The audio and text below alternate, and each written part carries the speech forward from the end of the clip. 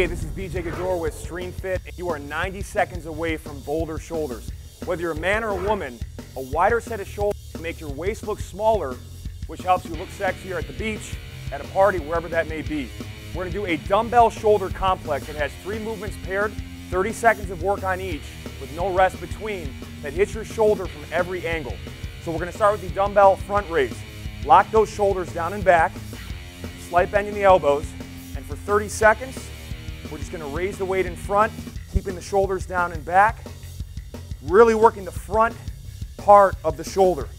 After 30 seconds of that, we immediately go to the lateral raise out to the side. So it's gonna hit more of the middle side of your shoulder.